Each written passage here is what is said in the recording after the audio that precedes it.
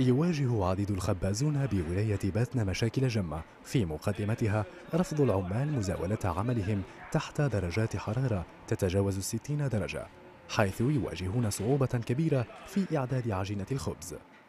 ما تسخن الحال. عينا نخدموا وزيد بليس دو سا. العجينة اكتب فيها ويزيدها ويدير من درجة مسخنه بزاف. كان ما يكونش واحد الكراج مستحيل يخرج الخبز كيما هذا. مستحيل. سخن الحال طرو طرو.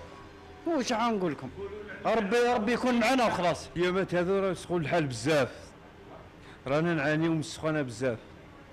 هلكتنا السخونه الخدمة تفزد. عينا نخدمو كونت يختينا لاكلاص ما نخدموش. العجين يفزد.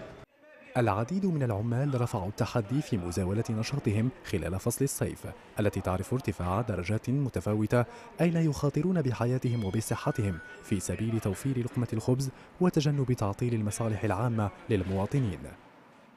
برا راهي 40 42 درجة إحنا هنا فايته 65 درجة. سمعت ما قدرناش نخدموا سمعت ما كانش عيينا دير ماء بارد كل ساعه خدام كل, كل ساعه كل ما يخدموا قنطة يروح يدوشوا.